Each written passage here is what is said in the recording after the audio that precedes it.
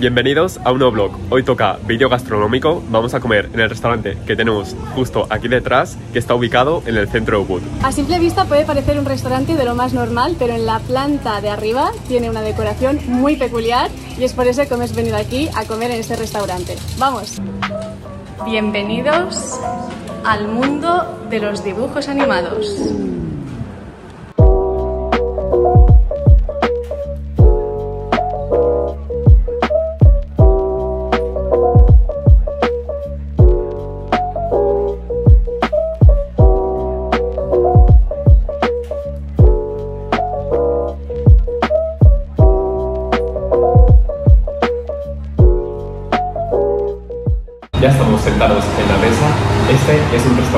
Coreano con la peculiaridad que la planta de está hecha en dos dimensiones, creando un efecto óptico usando solo el color negro y el blanco. Esta es la tendencia de decoración que se puso de moda en 2019-2020 en Asia, sobre todo en Corea y en Japón.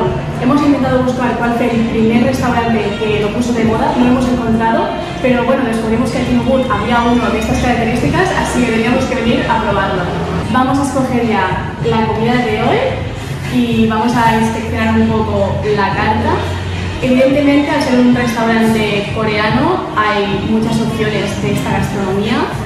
De entrada vemos que tienen ramen, también tienen opciones, eh, muchas opciones de carne, Y de pescado también. pero no vamos a probarlo, evidentemente. Y también nos hemos alegrado mucho porque en el menú hemos visto que tienen una página entera dedicada a comida vegetariana. Así que seguramente en esta sección vamos a escoger algunos platos y algún ramen, yo creo que también. Así que ahora os contamos exactamente qué es lo que cogemos y vamos a degustarlo y a ver qué tal. Muy bien, pues ya tenemos toda la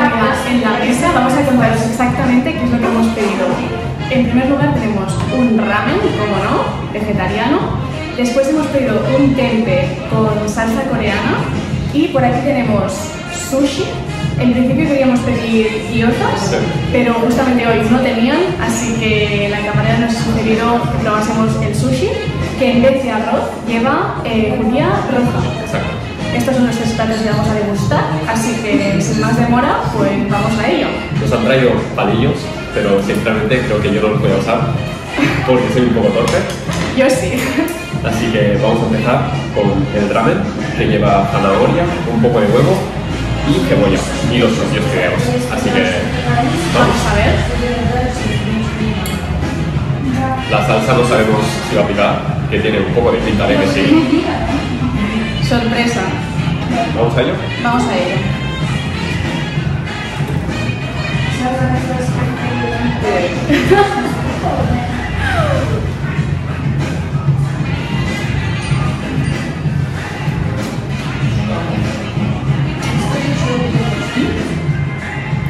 bueno, pero Pica. sí que pica. ¿eh? Ya se veía venir. Esta salsa iba a picar y... Sí. Pero muy buena. ¿Tú ya puedes con los palillos? Sí. A mí me gusta con palillos, es más auténtico. Están muy buenos, ¿eh?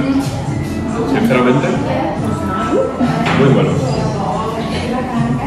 Me gusta porque es como que son suaves y tienen el punto picante que le da sabor, pero es un picante muy soportable y la combinación de todos los ingredientes muy buena. Segundo plato, el sushi. Así que vamos ya directos a probarlo. A mí me resulta muy interesante que lleve la judía roja en vez del arroz, no sé, un poco de salsa de soja Y entero, ¿no? y entero de un bocado. Lo que estoy haciendo con el tenedor, bueno, esto es una aberración, un pecado mortal. ¿eh? He comido sushi así, no te lo voy a tener en cuenta, pero. ¡Hola, hola! Bueno, la estoy mirando un poco. Es lo que pasa por comer sushi con tenedor. Esto es el drama. Chin chin.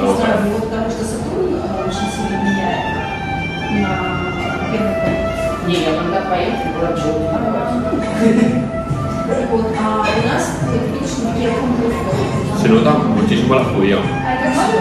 ¿No? Mucho, mucho nota la judía.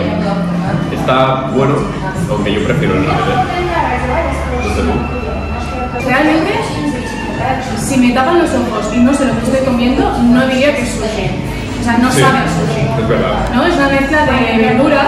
La mezcla es buena y sabe bien, pero es más como una ensalada que Sí. sushi. Así que mm, no sé qué decir. Yo la verdad es que he notado muchas texturas diferentes, Sí, eso sí. pero de sabor casi solo he notado la comida. Es verdad que envolvía mucho el resto de ingredientes. El arroz, al ser más suave, es verdad que con el sushi puedes notar más el resto de ingredientes. A ver, malo no está, No, pero prefiero el sushi tradicional y de momento de los platos que hemos probado prefiero también el ramen. Y ya por último tenemos el tempe rebozado con salsa coreana. Exactamente no sabemos lo que lleva, pero estaba en sección vegetariana, así que ningún problema para nosotros. Ah, y también lleva setas, es verdad. Ya de entrada es un tempe preparado de una forma muy distinta Sí. a lo que hemos comido habitualmente por aquí. Así que a ver qué tal está. Espero que la salsa no pique mucho, pero tiene un color rojo que... Eso es sospechoso. Va a picar.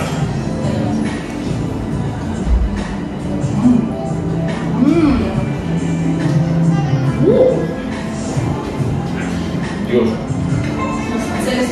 qué bueno. No pica.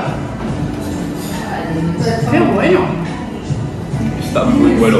Muy, muy diferente ¿eh? a cualquier Sí. tipo de tempe que hayamos podido probar aquí. La salsa que tiene me encanta, ¿eh? Era como el tempe caramelizado un poco por fuera y le da un toque muy especial y está muy bueno, la verdad. Me gusta mucho. La verdad es que con el tempe no paramos de sorprendernos porque cuando pensamos que ya hemos probado todas las formas posibles de prepararlo, va y encontramos una nueva. La salsa que lleva recuerda un poco a la sopa, pero también es como si llevase tomate. Sí. Uy. Ahora que lo hago que pica mucho. Claro, ¿eh? No lo estoy notando. Uf, joder, madre mía, pica. Porque lleva como trozos de, de chili, creo. Bueno, pues muy bien. La verdad es que a nivel sabor es muy diferente a la comida indonesia, balinesa, muy, muy diferente. A mí lo que más me ha sorprendido es el, tempe. el tempe. ¿eh? Esta salsa, la verdad es que... Y el ramen, yo ya lo había probado y este, la verdad, es que es correcto. En plan, no es el mejor ramen que he comido, pero bien, en plan, un ramen bien. Y el sushi sí que, bueno, A mí es lo que menos me ha acabado de Sí, nos lo vamos a comer igual, ¿eh? pero no para repetir. Exacto. Para repetir esto seguro. Así que bueno, vamos a acabar estos platos y si nos quedamos con hambre, pues pediremos postre. Seguramente. Seguramente sí, porque hemos visto que había algo con chocolate, así que realmente va a caer. Bien, como veis, ya hemos acabado de comer, no hay platos en la mesa. Hemos dicho al principio que no picaban los platos, pero hemos ido comiendo y comiendo y al final sí que picaban. Hemos pasado mucho calor, sobre todo con el ramen, estábamos sudando literalmente y ahora para los postres queríamos pedir el helado, que de hecho es el único postre que hay en la carta y no lo tienen. Al igual que las miozas, hoy no hemos tenido suerte, así que seguramente vamos a comer un helado por ahí ahora para refrescarnos un poco, que lo necesitamos. Y para ir terminando, ya tenemos la cuenta por aquí. En total nos ha costado 200. Nos ha costado todo en total 219.450 rupias indonesias. Ha sido un poquito más caro que el típico warung indonesio, pero aún así ha sido un precio bastante económico. Además, en este caso había el valor añadido de la decoración. Ha sido diferente comer en este restaurante. Sí que te sientes un poco como si estuvieras dentro de un dibujo animado y como experiencia, si te apetece algo diferente, pues vente a este restaurante aquí en Ubud y así pues lo pruebas tú también. Déjanos un like si te ha gustado este vídeo y si quieres ver más contenido gastronómico en el canal. Tanto a él como a mí nos encanta comer, así que no es ningún problema hacer este tipo de vlogs. Nos vemos ya en próximas aventuras. Becky y Evan se despiden aquí. ¡Chao!